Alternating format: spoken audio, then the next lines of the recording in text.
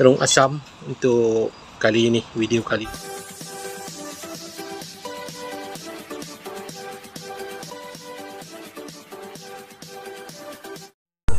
Assalamualaikum dan selamat pagi. Jumpa lagi Video hari ini. Saya nak buat tentang pokok terung asam. Pokok terung asam ni Pokok yang buahnya masam Terungnya boleh makan lah. Ok saya letak gambar Jenis terungnya macam mana Ini saya tanam dalam polybag. Sudah 21 hari. Sudah 21 hari Tengok daunnya pun dah besar. Dah besar daun berduri eh. daunnya berduri dah ada duri-duri sini. Ni ada tiga polybag tiga polybag. Terung asam terung asam. Terung ni susah dijumpai dah. Terung ni semakin sukar dijumpai. Jadi saya tanam kita nak tengok perkembangan pokoknya macam mana ok ini masa saya tanam 20 hari lepas 10 hari lepas eh, 20 hari lepas eh. pokoknya sejengkal saja jengkal saja. Sekarang dah besar dah. Ok dah besar dah mula sihat. Nanti kita nanti kita, saya update lagi macam mana perkembangan ni ni kurang sikit sebab mungkin letak rapat sangat. Saya kena kena ubah pasu ubah ubah ubah tempat bagi ada jarak sikit bagi dia bernafas. Ni pokoknya terung asam terung asam saya update nanti lepas ni saya update lagi sampai dia berbuah ok pokoknya Okey, ini saja. Okey, selepas 35 hari. 35 hari pokok dah besar dah. Ini pun tangan saya tengok daunnya besar lebar. Dah mula berbuah. Dah mula keluar buah.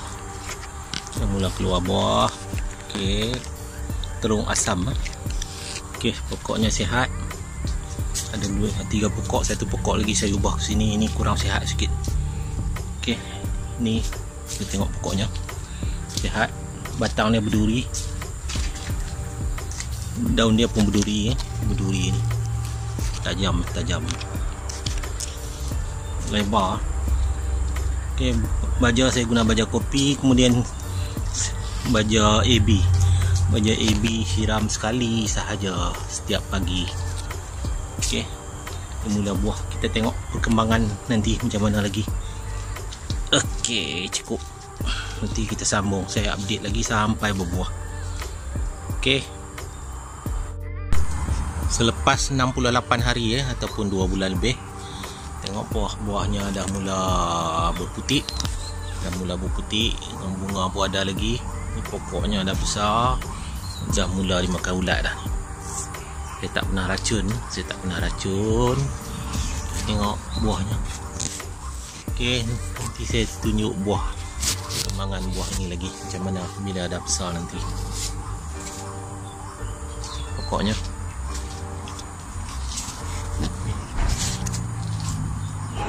Selepas 87 hari selepas 87 hari buahnya dah dah besar kemudian nak keluar bunga pun ada lagi keluar bunga baru pun ada lagi. Ni bunga baru keluar buahnya buah mula banyak. Ini pun ada lagi. Ni.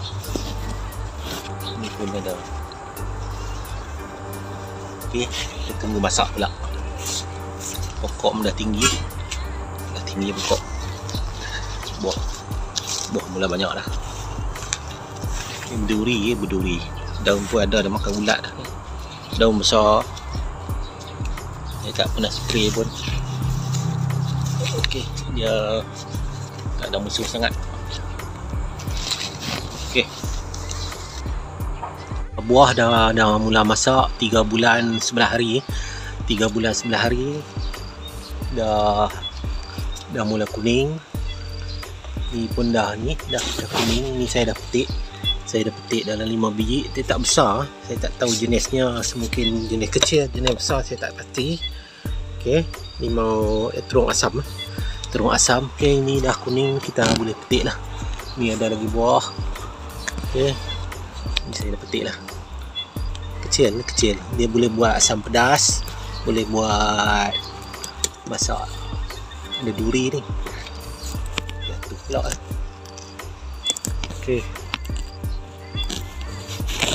ok Ni ada lagi ni belum masak. Kita tunggu lagi. Pokoknya dia akan jatuh ke bawah. Pokoknya besar ni. Dia dah lebih kurang 3 kaki lebih. Dalam polybag kan. Polybag. Okey, ni. Dah, petik boleh masak. Dah dah petik eh. Dua pokok. Ni ada sebiji lagi. Ada sebiji lagi.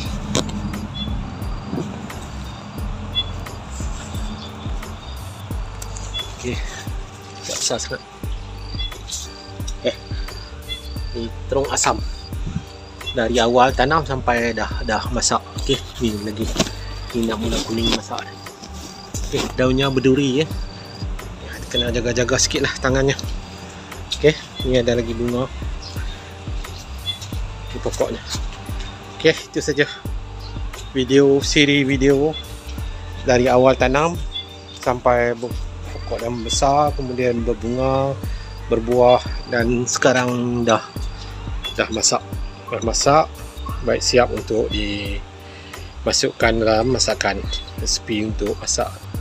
Okay, itu saja kongsian terung asam untuk kali ini video kali ini.